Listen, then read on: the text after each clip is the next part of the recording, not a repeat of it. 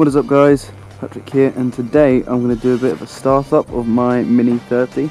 Um, I'll show you what the engine sounds like. This is a standard engine in this one, it's a 998cc engine.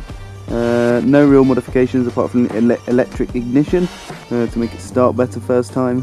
But apart from that, pretty standard, no stage 1 or anything, standard exhaust. So I will now cut some exhaust notes from the front, back and from the inside and that will be this video.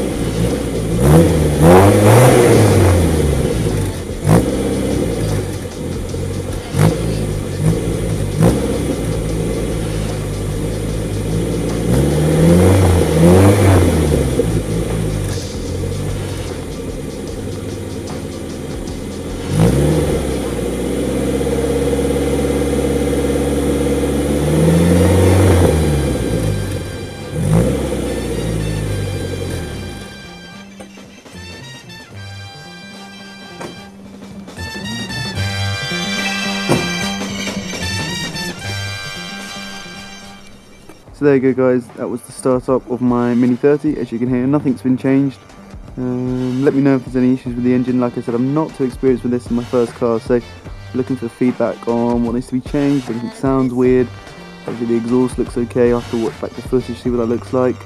But uh, yeah, so next video I'll probably do will be interior, and we'll go from there. So, speak to you next time. Bye.